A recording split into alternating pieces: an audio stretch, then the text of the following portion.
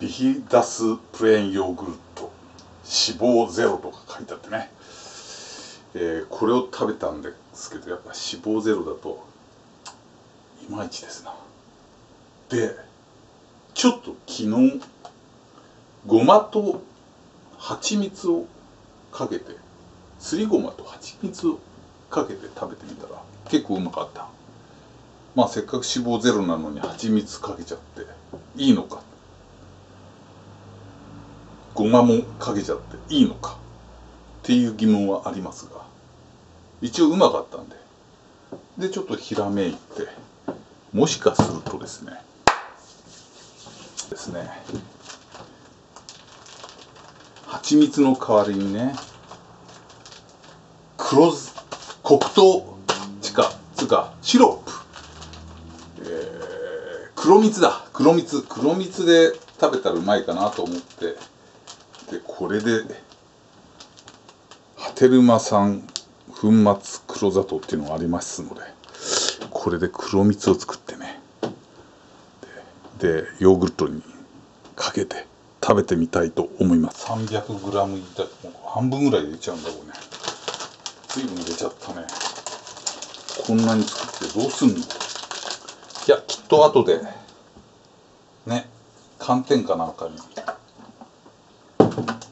ねかけて食べれば美味しいでしょ。うこれ煮りゃいいんだよな。はいこれに。これはなかなか腕が疲れてきますね。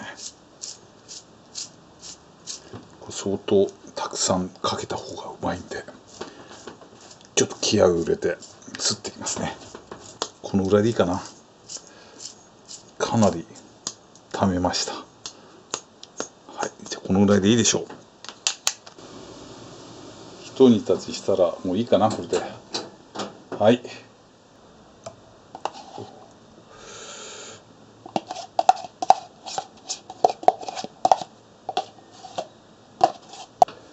これに先ほどの黒蜜をちょっとサラサラですなまだ。かけます。どのぐらいかけるの？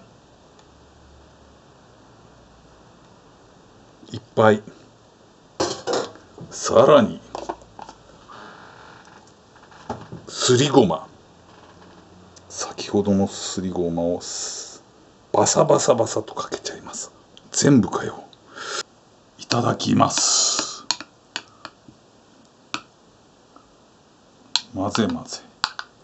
混ぜ混ぜして。うん。うまい。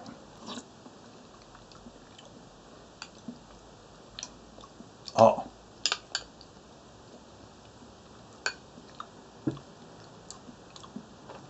もうちょっとシロップが欲しい。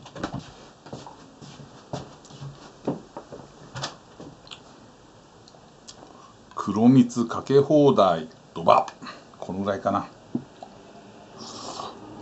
うん。とっても和の趣です。和の趣美味しいわ。とってもうまいわです。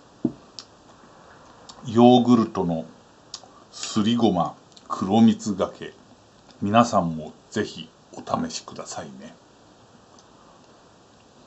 うん。ちょっとお茶が飲みたくなる感じです。